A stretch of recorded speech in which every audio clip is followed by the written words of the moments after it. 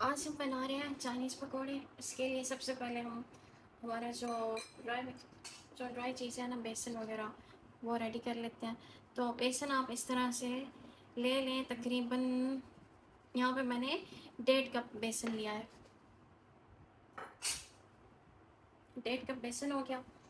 इसमें हमने two tea one teaspoon black pepper डालिए टू टीस्पून आप इस तरह से काली मिर्च का पाउडर शामिल करें।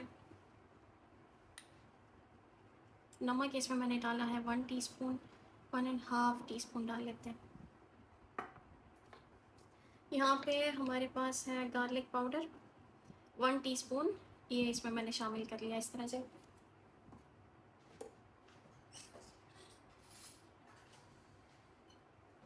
अभी जो, ये भी जो है मिक्स कर लेते हैं, जो ड्राई इंग्रेडिएंट्स हैं सारे।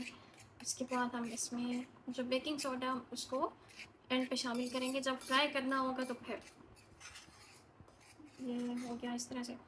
अभी हम इसमें डालते हैं soya sauce one tablespoon two tablespoon three tablespoon soya sauce हो गई।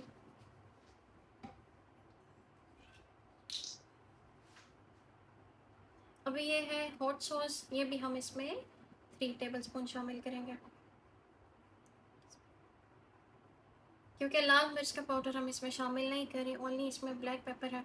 तो साथ में ये जो हॉट सॉस है, ये भी काफ़ी तीखी होती है। तो ये इस तरह से थोड़ा सा स्पाइसी बन जाएगा मुनासिब से अभी इसमें हम हंसपे ज़रूरत पानी शामिल करेंगे ताकि इसका बैटर बन जाए।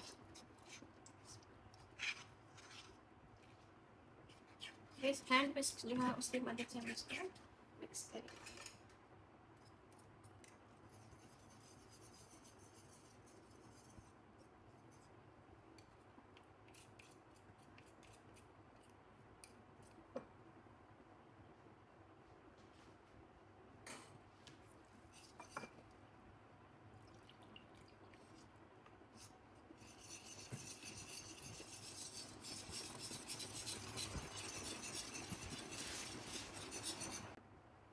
बैटर हमारा बन गया ये देखिए, इस तरह से इसकी कंसिस्टेंसी है। ना बहुत ज़्यादा ये पतला होना चाहिए और ना ही बहुत थिक होना चाहिए। तो अभी जो हमारी सब्ज़ियाँ वो इसमें शामिल कर लेते हैं। ये गाजर है, दो अदद गाजर। इस तरह से मैंने उसको जूलियन उसकी कटिंग किया इस तरह से वो इसमें शामिल करेंगे।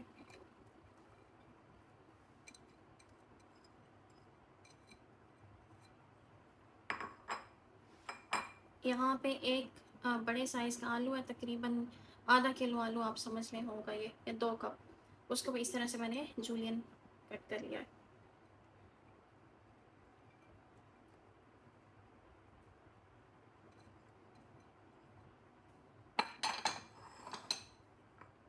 यहाँ पे एक अदद शिमला मिर्च है, वो भी इस तरह से जूलियन कट की हुई है, वो इसमें डालेंगे।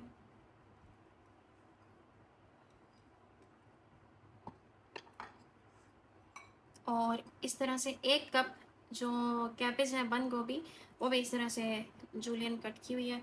वो इसमें डाल देंगे।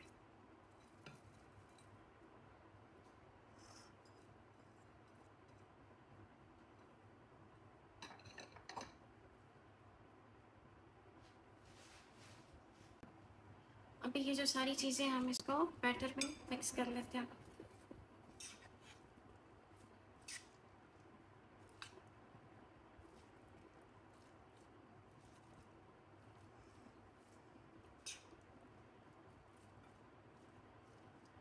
इसमें आप जो सब्ज़ मिर्चें हैं, वो भी शामिल कर सकते हैं, अगर आपको थोड़ा सा स्पाइसी चाहिए।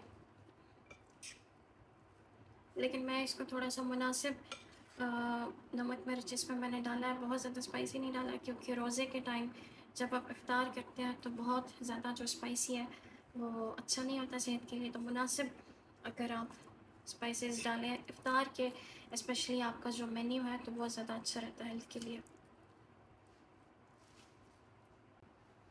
बैटर इस तरह से हमारा देखिए मिक्स हो चुका इस तरह से पकौड़ा का जो बैटर है ये रेडी है अभी जब इनको फ्राई करना होगा तो उसके बाद इसमें बेकिंग सोडा शामिल करके तो साथ ही हम इसको फ्राई कर लेंगे इस तरह से एक पिंच हम इसमें बेकिंग सोडा यहाँ पे शामिल किया है एक पिंच और थोड़ा सा धनिया डाल के बस इसको मिक्स करके इसको फ्राई करना स्टार्ट करेंगे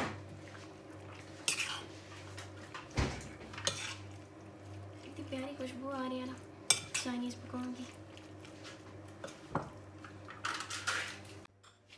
तेल हमारे इस तरह से यहाँ पे गर्म हो चुका है। मीडियम आवाज़ रखेंगे और इसको फ्राई करना स्टार्ट करते हैं।